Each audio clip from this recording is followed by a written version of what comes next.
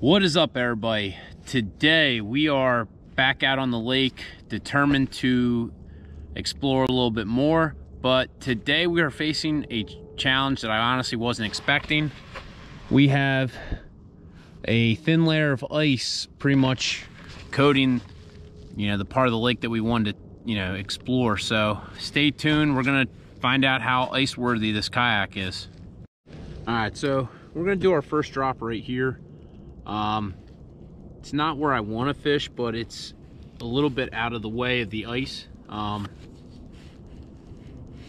we just dropped the slab stacker down, see if anything's going to be interested in it.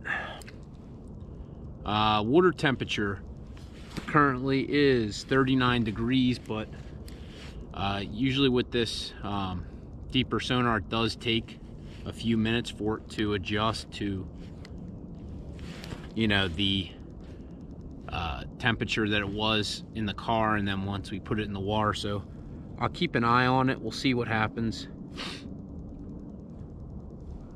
All right, there we go. First fish of the day. No skunk today. No skunk today. Oh, yellow perch. All right. So that's a good sign. This guy absolutely inhaled the B vibe, man. All right, just as I said that, we got something on the slab stacker. Don't know what yet, but feels bigger than that first perch we had. Oh, son.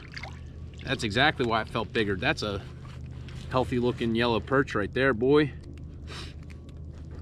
Look at that. That's not a bad size yellow, man.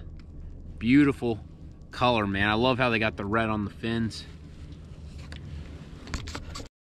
All right, so just pulled the anchor. We're gonna keep exploring we did get three perch out of that first hole we stopped at. Um, but for time's sake, we do want to kind of explore out and see, branch out.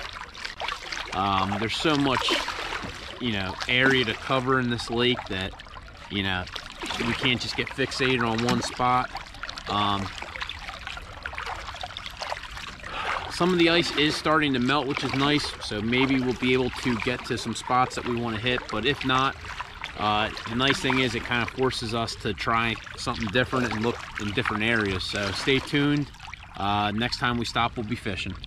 We literally just pitched out the suspended jig, man, and first freaking cast, we got ourselves, dude, the crappie that we were looking for, man. That's it right there, baby. That's exactly what we've been looking for. Look at that. He absolutely ingested this uh, Diamond Mist Baby Shad. But look at that beautiful crappie, man. Absolute beaut. All right, let's see what we go. Oh, let's go. Fish on. This actually feels like a bigger one. Please be a crappie. Please be a crappie. Yeah, son. Another crappie. Damn. That guy actually felt way bigger than he was, but another one on the baby shad. Beautiful black crappie. Gonna let that guy go. Live to fight another day. All right, man, that's not bad. Uh, fishing has been, you know, fishing. Uh, hasn't been crazy bite. Uh, hasn't been a crazy good bite yet, but that's two fish right now on the slip bobber. Um, and all I'm doing really is just just slowly twitching it back to the boat. Um, that last one hit literally right as, you know, I was about to pull it into the boat, which is kind of crazy. It's more of a patience thing right now, is just sitting back and kind of letting it slowly work. Like that fish looked like my bobber went under. I went to lift up and it wasn't there. Uh, I dropped it back, didn't move it for, for a second. Oh, we just had a hit right there. Got him. Same thing. That was like a weird finicky hit. this guy's a little bit smaller, but another black crappie, babe. Beautiful black crappie. Now this guy's a, a dink and a half, but uh, that one, same thing, man. They hit it and dropped it. But we're gonna let this guy go. Let's go. Let's freaking go. jig this guy up right at the boat. That's the biggest one yet, man. I don't know if you would call that a slab. Where I come from, man, a slab is like 15 inch plus fish, but definitely a beautiful uh, black crappie. Definitely the biggest one we've had yet, man. Look at that. Absolute tank, man. And the, the beauty of these things, man, look at the colors on this guy. We're going to get him back in the water, but I mean, what a beautiful pattern. I don't know if the camera probably doesn't even do it justice, but another beautiful crappie. Got him that time. Got him, let's go. What? Back to the yellow perch, man. I was gonna say, I, something was messing with it, but could not hook him. And this would be why. It's tiny yellow perch, but we're gonna get this bad boy back in the water. Try and spin the kayak so that I can actually cast where I want to cast. Oh, probably should fix that. That ain't gonna catch much like that. There we go.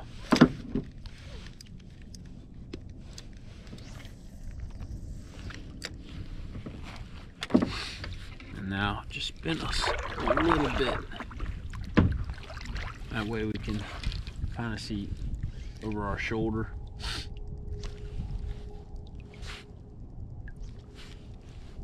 All right, we're gonna jig this a little bit. Oh, there we go. There we freaking go. Ooh, he hit, he hit it right at the boat. Look at this. Another black crappie, man. Freaking, they love these uh, baby shads, man. Healthy looking thing.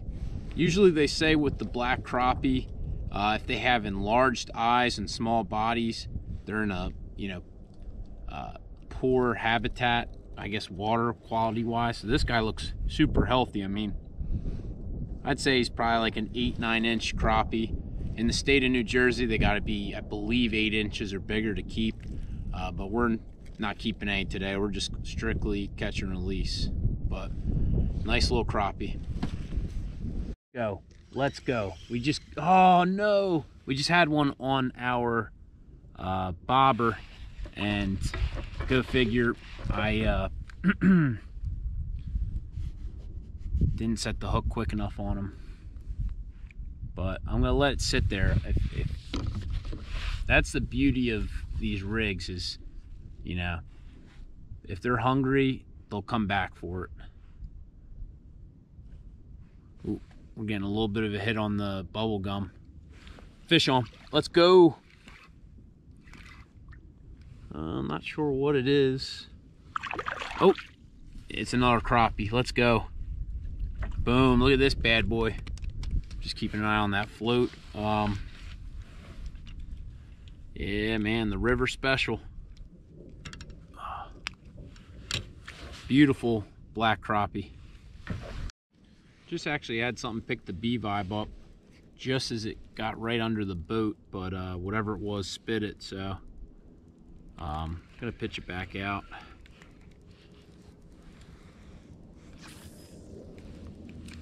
My guess was crappie. Uh, kind of felt like a little bit of a crappie hit, but we'll never know.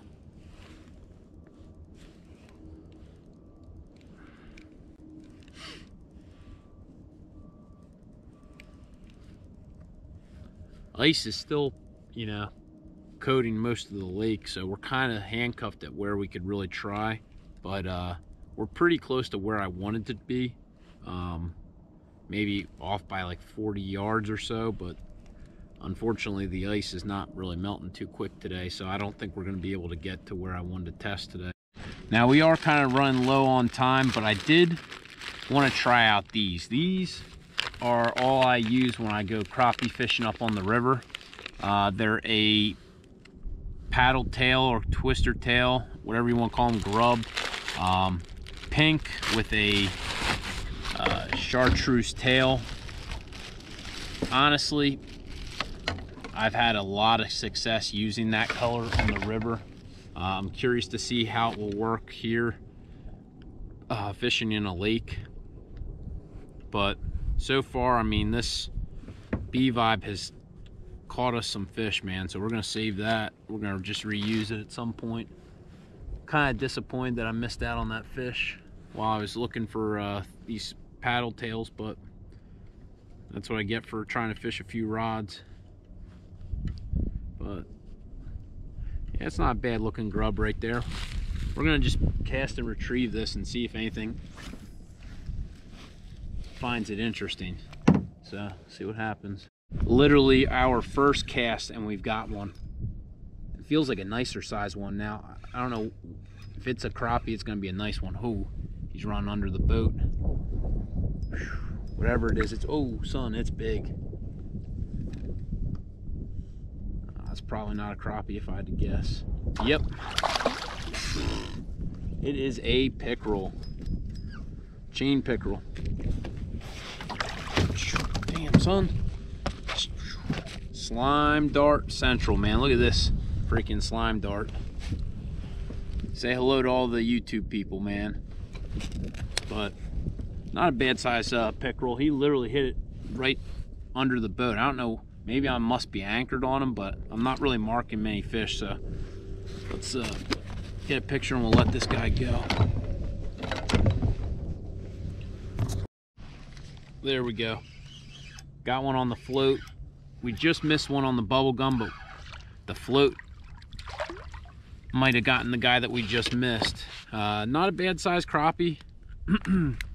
Another beautiful black um, on the diamond mist, baby shad. But we're gonna let this guy go. Um, that's the beauty of two rods. I mean, it sometimes could be a real awkward, you know, dance trying to keep your stuff together. But when you do catch fish uh, that way, it is a little bit rewarding.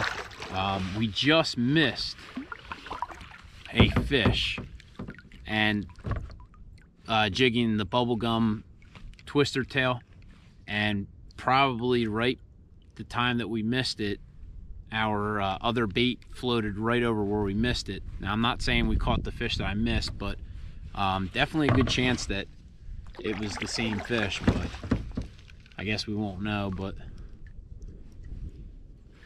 all right so we just made the official last cast of the day um, hoping to get one more fish to end the day, but we'll see. Um, we're pretty much out of time at this point, but uh, we're gonna give it a shot. I got my float suspended jig system straight out, maybe 20 yards away, and I got a uh, twister tail just right underneath because we are drifting.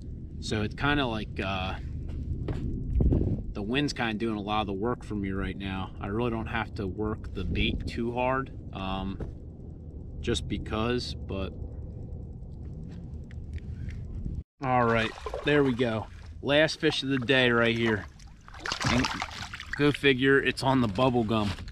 Literally dropped it straight down and got him on our river favorite, the pink and chartreuse, man that is the way we want to end a trip, man. You never want to end the trip without a fish, but I hope you guys enjoyed today's video. As always, if you're not a subscriber, click that subscribe button down below.